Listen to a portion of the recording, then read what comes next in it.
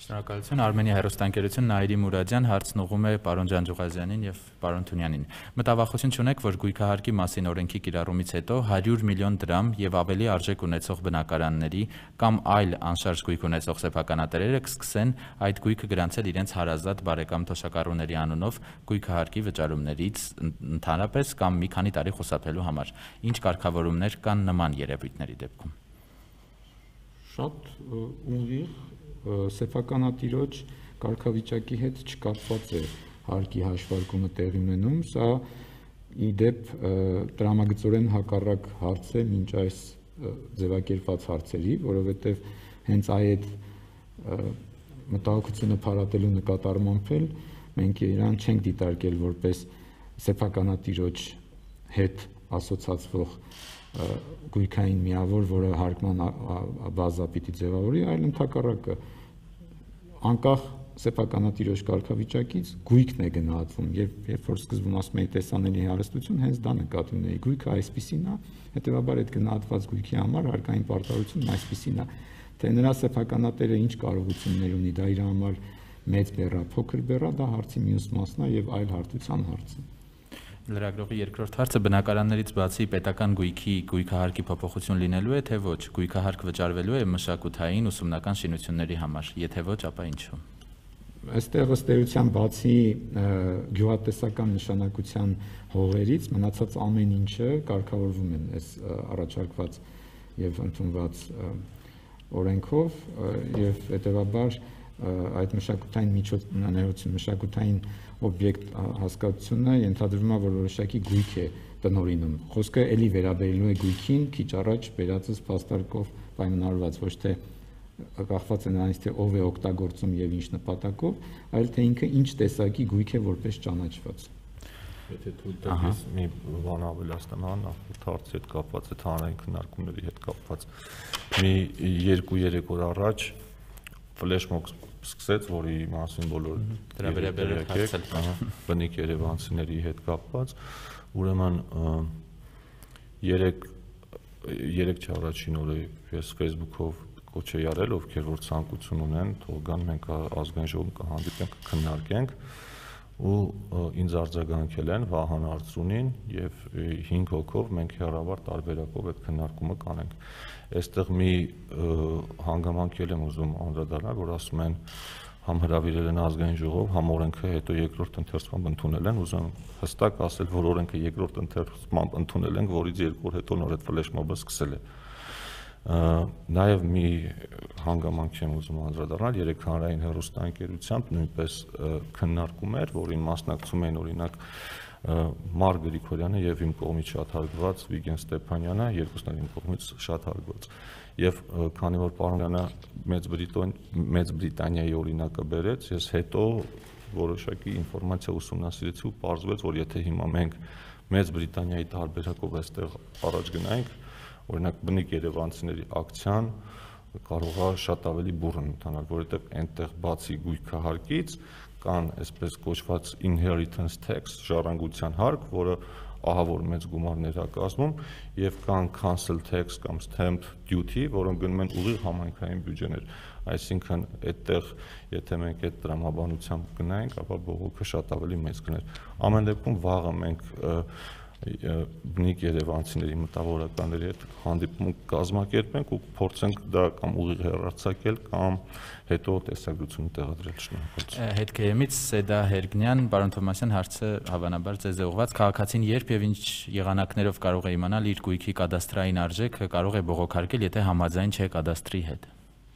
ըստ էության տեսեք կադաստրի կոմիտեում այս շաբաթվա վերջում արդեն մեր էլեկտրոնային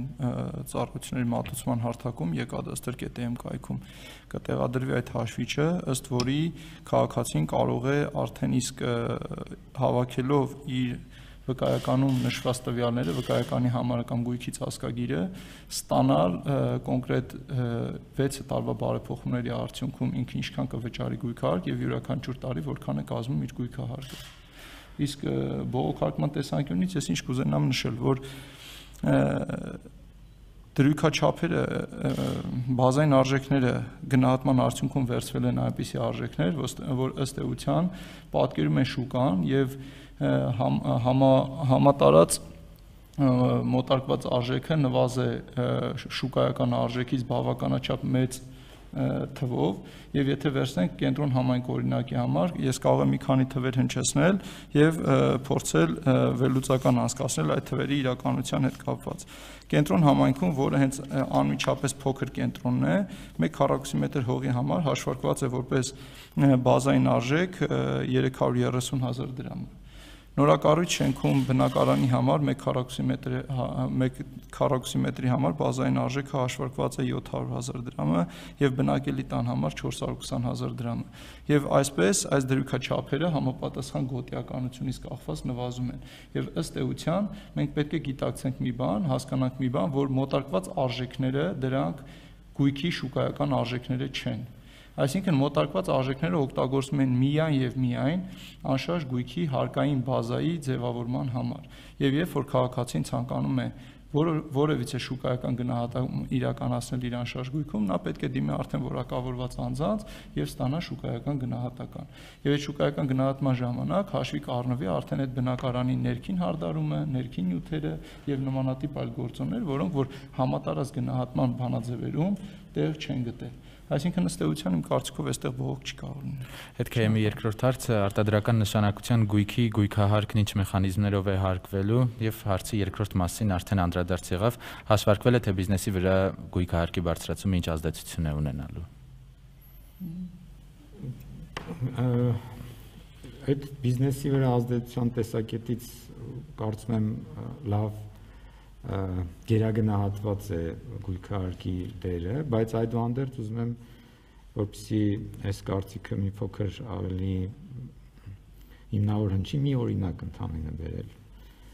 Պատկերացրեք Մաշտոցի պողոտայում 1280 քառակուսի մետրանոց տարածք հասարակական նշանակություն։ Մոտարապես այնպիսի վայրում, որը ամենաիրացվելի կարելի ասել գնահատականի տեսակետից եւ նրա այսօրվա գործող հարկը 594000 դրամ է հիմա եկեք պատկերացնենք այդ 1280 քառակուսի մետրում կազմակերպվող գործնեությունը երկու դեպքում էլ թե սեփականատիրոջ համար որպես пассив եկամտի աղբյուր ենթադրենք վարձակալության տալու դեպքում եւ կամ որևէ գործնեություն կազմակերպելու Արդյոք մենք համարում ենք, որ տարեկան 594000 դրամը ճշտորեն կամ ճշգրտորեն արտացոլում է այդ գույքի հետ կապված ծախսի մասնաբաժինի այդ գործնեության տեսակի մեջ։ Կարծում եմ, որ չափազանց թերագնահատված է, որովհետև 1280 քառակուսի մետրը ամենաիրացվելի մասում ենթադրվում է, որ եթե հանկարծ այդ չափի ազդեցություն ունենար, ապա նրա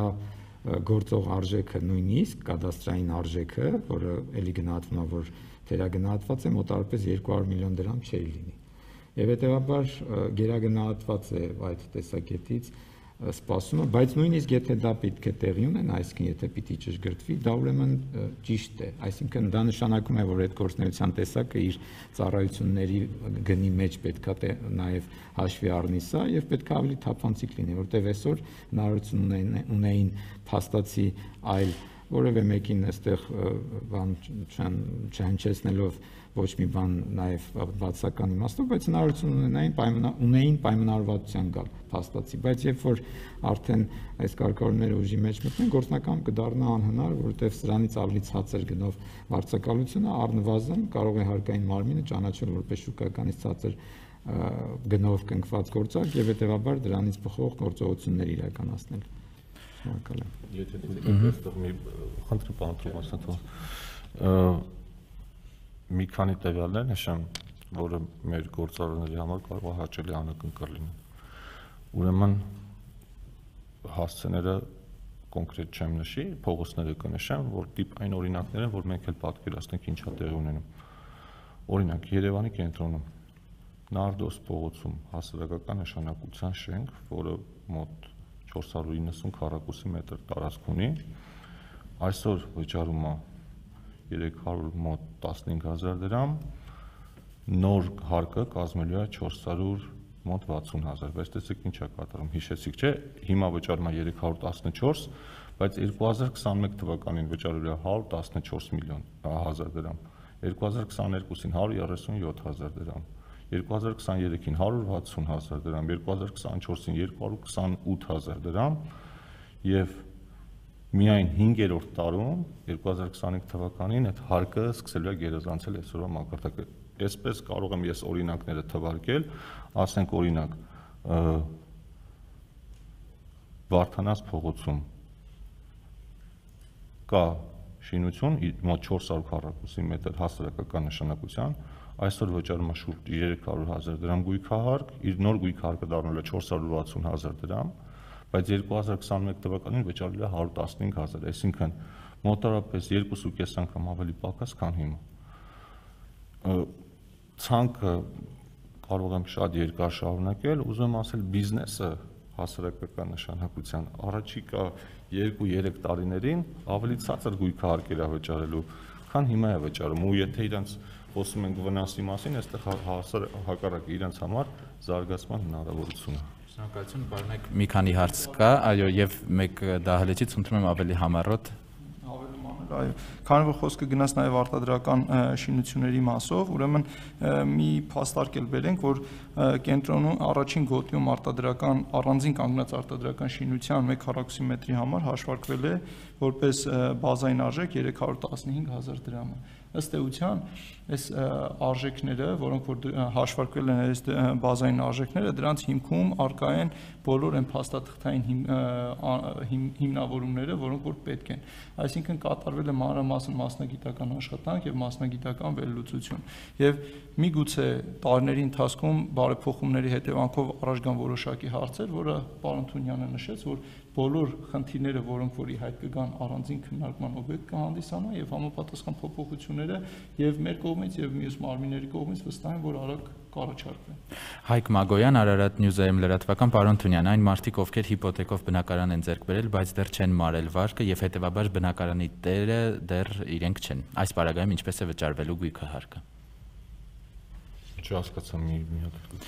մարդիկ ովքեր հիպոթեկով բնակարան են ձեռք բերել, բայց դեռ չեն մարել վարկը եւ հետեւաբար բնակարանի տերը դեռ իրենք չեն համարվում։ Չէ, բնակարանի տերը իրենք են համարվում, անկախ նրանից այդ վարկը երբ կմարեն, այսինքն գործարքը կնքվում է, իրանք ուղղակի վարկային պարտավորություն ու մարում են այնպես, գույքարկն վճարում են այնպես, ինչպես են քաղաքացիները, որոնք վարկով չեն գնել կամ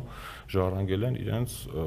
ծնողներից կամ տատիկ պապիկներից։ Հասկանալի է։ Պարաթիվի Նարինե Իրիցյան առաջին հարցին արդեն անդրադարձ եղավ, պարոն Թունյան, լրագրողը նշում է, որ բնիկ Երևանցիների ֆլեշմոբ էր սկսվել, արդյոք չունեք մտավախություն, որ սա կարող է վերածել հանրային լուրջ ընդվզման ընդհանրապես չունեմ նման մտահոգություն, որովհետև մեր այս մի քանի օրվա շփումների ընթացքում ինձ համար հասկանալի դարձավ, որ մենք այդտեղ ունենք ընդհանրապես կամ հիմնականում կոմունիկացիայի խնդիր։ Մարդկանցից շատերը մտածել էին, որ այսօր եթե վճարում են 20000 դրամ, հետո իրենց գույքահարկը դառնալու է ենթադրենք 300 կամ 400000 դրամ։ Եթե թույլ տակ մի երկու օրինակ էլ կենտրոն վարչական շրջանի համար վերեմ, հա, ասենք օրինակ նորակառույց շենքերի օրինակն եմ բերում, որ ավելի ընդգծված լինի, հա։ Արգիշտի փողոցում 6700 դրամ քարկ այսօր որ վճարում են բնակարանի համար, վճարելու են 14000 դրամ, բայց սա վճարելու են 26 թվականին առաջին տարում վճարելու են 3500 դրամ։ Կամ օրինակ Նալբանդյան փողոցում այսօր վճարում են 25000 դրամ, 75 քառակուսի մետր բնակարան, հետո վճարելու են 71000 դրամ, առաջին տարին 18000 դրամ։ Սա նորակառույցներն են մինչև 1975 թվականը կառուցված շենքերի դեպքում, այ օրինակ մեր բնիկ Երևանցիներին ընկնում է հիմնականում այս սեգմենտի տակ, չէ՞ որ ասում են մենք 30-40 տարի նույն տանը ապրել ենք։ Օրինակներով նշեմ, հա, օրինակի համար. Տիգրան Մեծի պողոտա վճարելու է 17000 դրամ 70 քառակուսի մետր մաս բնակարանի համար։ Առաջին տարում վճարելու է 4000 դրամ։ Մոսկովյան փողոց 75 քառակուսի մետր բնակարան վճարել է 28000 դրամ, առաջին տարին 7000 դրամ։ Կարծում եմ, երբ որ կալկուլյատորը արդեն on-line կլինի, մարդիկ կդնեն ու կսկսեն հաշվել ու կտեսնեն փաստացի ինչքան են վճարում, այդ մտահոգությունները կամաց-կամաց կփարատվեն։ Նախավերջին հարցը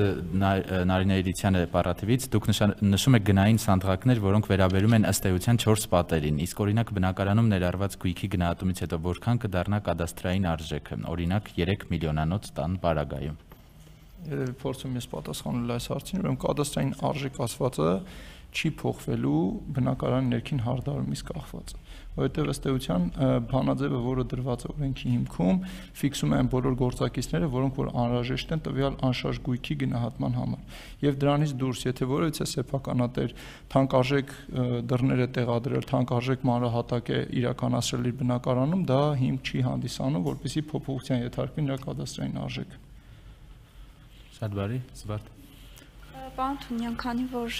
անընդհատ խոսվում է կենտրոնի գույքահարկից, ես ուզում եմ խոսենք նաև փոքր բնակչություն ունեցող գյուղերից։ Օրինակ հաշվարկել եք տարեկան կտրվածքով գույքահարկը որքան պետք է բարձրանա գյուղերում, որpիսի կարողանան լուծել համայնքում արկա այս կամ այն խնդիրը։ Նման հաշվարկ ունեք։ Շնորհակալություն։ Ես ամենասկզբում որ ներկայացնում եմ, նախ շնորհակալություն հարցի համար, ամենասկզբում որ ներկայացնում էի թե ինչ գումարներ են տալու բնակելի տների համար, օրինակ, որոնք որ մինչև այսօր չեն հարկվում, դրանց մեծ մասը հենց ընկնում էր գյուղական բնակավայրերի, այսինքն գյուղական բնակավայրերին է բաժին ընկնում։ Գույքահարկի գումարները միջինում կարծում եմ 3-ից 5000 դրամի սահմաններում է լինելու սեփական բնակելու տների համար։ Մեծ մասը մինչև 3000 դրամ շեմի տակ անկնում։ Հիմա հարցին երկու մասով երկու մասից նայենք, հա, որքանով է դա տանելի հարկ վճարողի համար, կարծում եմ տարեկան 3 կամ 4 կամ 5000 դրամը տանելի բեռա, որքանով դա կնպաստի համայնքի խնդիրների լուծմանը, այդտեղ արդեն մենք մի քիչ մտածելու տեղ ունենք, որովհետև անհնար է որ ամբողջությամբ այդ գումարը բավարարի։ Դա ընդամենը քայլ առաջ է, այսօր ինչ որ անում ենք, քայլ է, որպիսի խնդիրների մի մասը, մասը գոնե սեփական ուժերով լուծվեն։ Ու եթե սա աշխատի, մի բան էլ ասեմ, մենք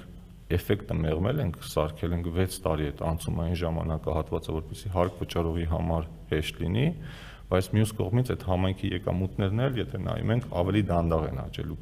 այսինքն առաջիկա 2-3 տարիներին այդ ազդեցությունը շատ թույլ կլինի, բայց նա դա նաև ժամանակ կտա, որպեսզի այդ համայնքների ավականիները կամ համայնքի ղեկավարները բավարար ռեսուրսներ կուտակեն ու հասկանան իրանք էլ թե այդ հավաքված ավել գումարով ինչ են անելու, որովհետև ինչպես նշեցի, փող հավաքելը մի խնդիր է, այդ փողը ճիշտ ծախսելը ոչ պակաս կարևոր խնդիր է մեկ հարց եւ վերջ նշում եք շուկայականի մոտ գին 5-6 տարվա գին եք սահմանում, իսկ եթե շուկայականը կտրուկ իջնի կամ բարձրանա, ինչ է լինելու այդ դեպքում։ Պատասխանել ուրեմն տեսեք, դրա համար օրենքում նախատեսված է դրույթ, որով 3 տարին մեկ անգամ պետք է ամբողջ հանրապետությունում իրականացվի նոր գնահատում։ Այսինքն, եթե շուկայում գրանցվի որևիցե վայրի վերում, որևիցե փոփոխություն, այդ պարագայում 3 տարվա ընթացքում հնարավոր է իրականացնել նոր գնահատում եւ այդ գնահատման արդյունքում սահմանել նոր բազային արժեքներ։ Եվ ըստ էության այդ բազային արժեքները արդեն նորից հիմք կհանդիսանան նոր հարկման բազաներ ձևավորելու համար։ Եվ վստահ եղեք, որ կոմիտեում հավաքագրված տվյալների հիման վրա մենք իրականացնում ենք ամենամսյա վերլուծություն եւ ըստ էության հրապարակում ենք այդ վերլուծությունները եւ մշտաբ դիտարկումները ցույց են տալիս, որ ներկա պահին էլ որոշակի գործարքների նվազում կա, բայց շուկայական գնի կտրուկ իջեցումներ չեն դիտարկվում